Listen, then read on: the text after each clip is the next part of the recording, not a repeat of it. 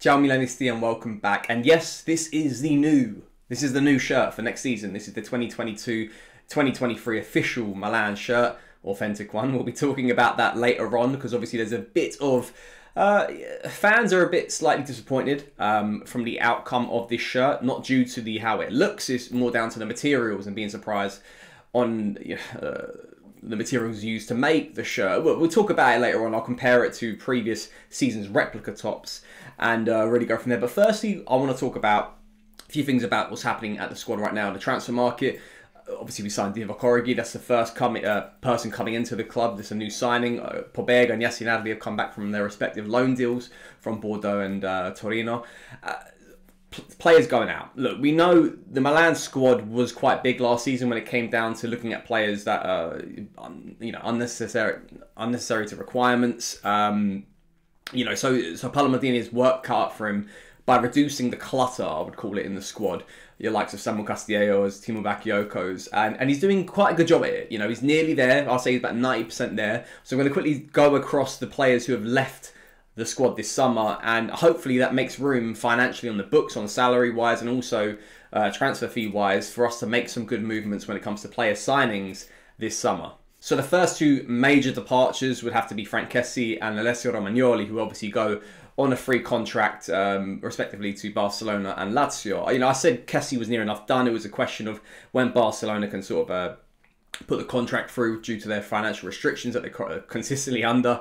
And that's that's happened now. He's officially a Barcelona player, so we wish him all the best. Same with uh, Alessio Romagnoli, even though there was a bit of doubt whether he was going to go to Lazio, potentially to Fulham in the Premier League. He ends up going to his boyhood club, Lazio. So, you know, we wish him all the best as well. Romagnoli, uh, you know, I'll talk about him a little bit longer than Kessie just because he's been at the club longer. He was our captain. I've got a lot of love and a lot of respect for Romagnoli. Look, this was the best decision for his career. He had to put his career, at, you know, at the, for, the forefront of his mind. I wish he could have stayed, but you know, realistically, you're going to pay that money for a person who's going to be your fourth choice centre back, someone who is in his prime right now. But you know, I'm, I'm happy with it. I'm happy with it. We we sort of it's the right time to end it. It's the right time to sort of go our separate ways. And I wish him all the best at Lazio. And I, I think it's a good that's a good move for him. And hopefully he can get back into the Italy squad, whatever it may be, because we just got to have a lot of love for a guy there. Um, and I'm just happy that his cycle at Milan sort of come to a close with him lifting the Scudetto last season. So really happy for him and got to thank him for his service. And the same goes, of course, for Frank Kessie as well. We've also finally shifted Leo Duarte. Um, he's gone to Turkey, to uh, Bazak Sahir. Sahir? Bazak Sahir. I can't even pronounce that. I'm not Turkish, unfortunately. even though I might look it. Um, he's gone to a Turkish side for around 2 million euros. Um, apparently, there is also a 40% sell on uh, clause. So, obviously, if he's sold on by that Turkish side to another club, we get 40% of the uh, the transfer fee. So, who knows? There might be some future money waiting for us there. Very similar to as we've seen uh, like Lucas Paqueta as well, if he makes a move from Lyon it's good to have that fleshed in. I think it's something that we've not really done in previous management where we just sort of let a player go and you know even on terms that aren't even like favorable for us and not even incorporated on the selling fees because you know this is something that's quite common in football now you have to look towards the future and even these little one two three four five millions ons that you get on from a future sale is handy when it comes to just anything really because we're a club who is obviously always looking to sort of financially make some sort of uh, benefits in our squad. So um, yeah, I'm, I'm it's, a, it's a good it's good to get him off the books financially as well. And you know, hopefully this is sort of coming to a close. That era when Leonardo was running operations from a transfer market perspective and, and, and signing players like Leo Duarte and like Gonzalo Higuain and stuff like that. So that's coming to a close. We're now looking at the squad that only Paolo Maldini has built since his time there, you know, 2020 and onwards. So, um, yeah, this is it. These, these players leaving is for the best. And another one from that era as well is Samuel Castillejo, who goes on a free transfer to Valencia. Linking up again with uh, Gennaro Gattuso as head coach there. He goes on a free, so obviously he's not claiming anything back with his last year remaining from Milan. That's really not. That's that's fortunate of him. Um, I think it was for the best of him as well. And I think he's going to wait around for another year or expecting to get paid for that last year. And because of that, Valencia don't have to pay any fees. So, um, you know, we're happy to get the salary off the books. But I do believe there are some sort of bonuses incorporated due to his performances. So if he does succeed there at Valencia, um, maybe if they have some like good performances finishing in the top four, we're going to get some sort of money from that as well. So it's good to get you know, Castillejo and Duarte's salaries off the books and sort of close a chapter from that really uh, tragic transfer window. Now, those are the players who have gone outright. Now, it's time to look at quickly the players who've gone on loan deals, and they're quite a lot. Obviously, there's a there's a range of players we have who need experience, um, players that we still can't shift as well, like Mattia Caldara, which we'll come on to. Um, and it's mainly just for the younger players who need that experience. And you're going to see a common theme where we're doing a loan deal with the right to buy, but also incorporating the buyback clause, which is, I'll come on to that being very intelligent in today's market football. Um, but if we quickly run through him now, um, Colombo's got a, another loan deal to Lecce, who are obviously in Serie A. He's already started preseason really well with, um, I think, two back to back braces in preseason friendly. So hopefully he gets that sort of uh, trajectory and uh, moving forward in his career. Um, Nasti, the uh, Primavera striker, has gotten a loan deal. I think it's near enough done to Cosenza. Um, I think that yeah they're in Serie B, so that's a decent move for him, very similar to what Colombo had last season. So wish him all the best, get that experience. Um, Mattia Caldara, we have to loan him out to Spezia because um, it's just we're not finding a club who is willing to buy him outright.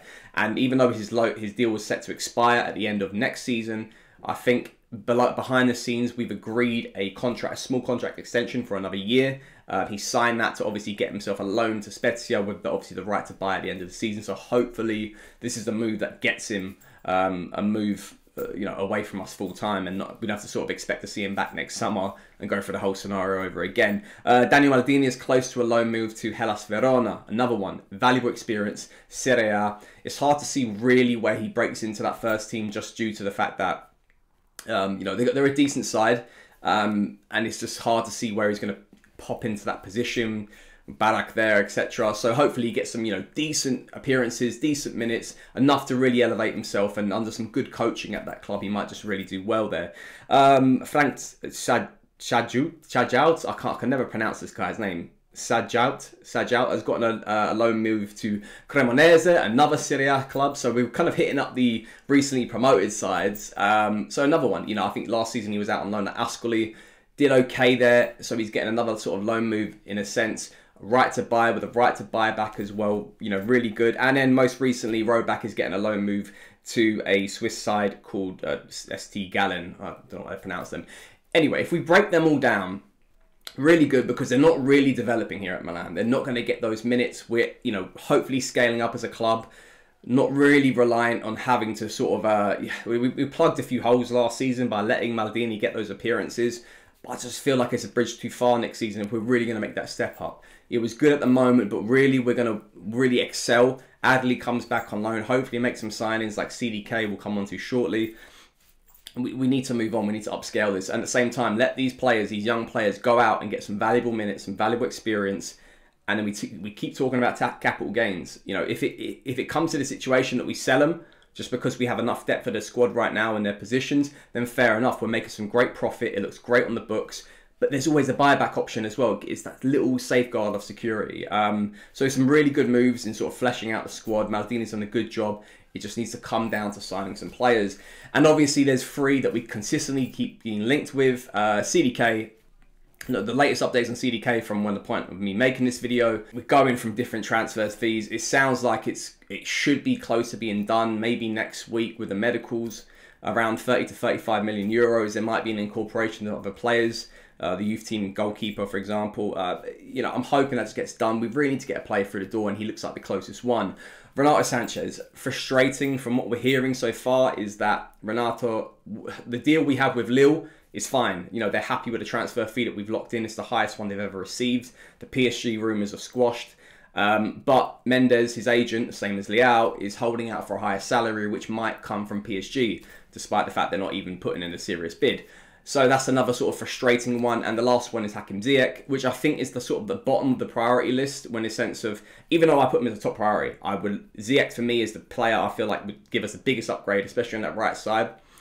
We're sort of focusing on CDK so much that I think we can't really sort of, uh, you know, uh, sort of do two things at once basically and sort of go for Ziyech at the same time. So once we hopefully get CDK sorted, we can then speak to Chelsea on the uh, the negotiations with his salary or the formula of the deal um, it just seems that right now it's kind of like 50-50 if that's actually going to happen. So the closest one we're really going to get is CDK right now. So hoping within the next week we just we need to get someone through the door because we need that bang in the market.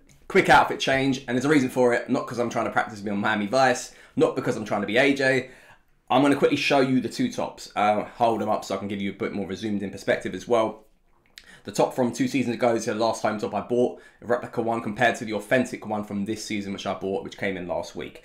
Um, quickly, I'm going to go through the replica one from two seasons ago because I just want us to be aware of the design choices when it comes down to it. Because there has been some stuff coming out about people a bit peed off about the materials used on the new authentic top. Um, quite surprised of, of, of, the paper-like material um, and shocked that this is this top is worth this much amount of money, which is a debate for another story because that's just like you go down the biggest sort of like wormhole in that regards. Firstly, let's look at the replica top. Traditional sort of um, fabric design with like polyester feels much more like cloth compared to sort of this new paper-like design on the authentic top. Um, I don't I don't actually remember what, how the authentic one was made this season, but it certainly wasn't with this sort of new ultra weave technology that they're using on our tops for the authentic one this season. Um, look, traditional design it feels nice. It feels heavier. That's one thing I am going to say compared to the authentic new top. Um, and yeah, stitching on the sort of the Puma logo, stitching on the AC Milan crest. The rest of it is iron pressed on, and if you got printed on the back as well, it'll be iron pressed on too. That's the traditional replica top. Um, if I will say something before I show you sort of a zoomed in perspective with the authentic top is, if you're used to that, buy the replica top for this season. Do not buy the authentic one. Replica tops are made for fans. Authentic ones are made if you want that player feel, see what they experience when they play the tops. And, and, and need to understand this as well. Players traditionally don't wear, you know, it's not as if they wear the top for the game and it goes into the wash and they wear it next game. It gets discarded away. It's made as a sort of one-time use. So just be aware of that before you make this purchase because it is going to mean that when you come down to washing it, wearing it in certain instances, you need to be aware that the material just might not be as uh, you know rigid as the traditional replica one, which is kind of weird because the replica one is cheaper, forty pounds cheaper, and I'm not quite sure the um, how it converts in different currencies, but it's going to be cheaper than the traditional authentic one. But anyway, let's quickly go down to the authentic one. This is this new season's authentic one. I really love the design. I love the kit. Um, from the outside looking in, looks lovely. Honestly, people were quite annoyed with this sort of ultra weave technology, this paper-like feel. Um, it's quite hard to kind of get that off into a screen, but that's how it is. Um, it feels really thin, which has got benefits, pros and cons. Um, the pros being it's lightweight, you won't really feel the heat so much, you won't be sweating so much in it. Um, yeah, the cons is that maybe it's just a bit of a, an eyesore when you really look in. It's a complete contrast to the replica kit. If you see the sides and how the stitching is done, I mean, someone mentioned this online, uh, trying to get that out there. It's it's not ideal to look at because it looks like two pieces of paper like stapled together or something and it kind of makes the, the product look a bit trash. But this is how it's done. There's obviously some science into this. Is it overpriced for what it is? I would say so, but so is everything. You know, you buy Nike trainers, you buy normal kits, etc. I usually wait for them to go on sale when I buy them because they're not worth what they what you pay for. But especially if you're paying, you know, uh, with delivery charges in around 140 pound for this whole purchase plus the printing on the back, is it worth what it is? No, it's not. But at the same time, this is if you want to buy it, then buy it. I've bought it. It's my birthday, but I bought it and I like it. I love it. I'll rock it. I just got to be very careful when it comes down to it. Talk about the Iron Press uh, Puma logo, the Iron Press Milan logo. Um, this is, I think they stopped doing sort of the uh, the Scudetto patch being stitched on as well. So this is all completely iron pressed on the front, plus Ibrahimovic iron pressed on the back as well, like normal kits would be as well. I love the cuff around the side. I love this sort of um, this sleeve collar, the uh, tricolore, really nice. I like it. All I'm just going to say is, let me wrap things up about this whole kit thing. Buy the replica one because they're made fans. It's that simple. So don't, so you're not disappointed that when your Fentic comes up and you're not used to this new ultra weave material. I'm just sort of, my only pet, fee, pet peeve would be, was when they did the pre-release, the authentic one was the only one available on pre-release. They didn't have the replica one available. If I had the option, not even in sort of in hindsight, even if I had the option, I would have picked replica all day because I always pick replica. But I got excited. I went for the authentic one. I thought, treat myself. I'm not disappointed with it. You know, there was that Twitter post, um, quite annoyed with the materials being used. Rightfully so. He's not used to it. But at the same time, I just want to make fans aware before you make this purchase what you're getting yourself into. Pick replica. It's the safe, safest option. I'm still going to rock this. You'll still see me wearing it all throughout next season and beyond. if it stays intact. Um, so that's it, guys. Just hopefully giving you guys a heads up before you make that expensive purchase. So until next time, guys, Forza Milan.